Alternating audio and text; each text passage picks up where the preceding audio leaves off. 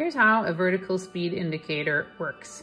If we open it up, we can see a couple things. We see a line coming in and that is static pressure.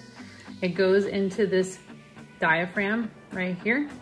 And then we also look at the back of the case and inside the case, we see there's that line coming into static pressure. We also have a calibrated leak.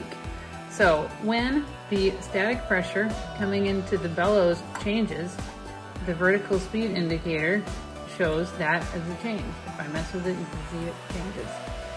We also have that calibrated leak. That means when the pressure in the case slowly catches up with the static pressure in my diaphragm, then it equalizes out and the vertical speed indicator shows zero or level flight.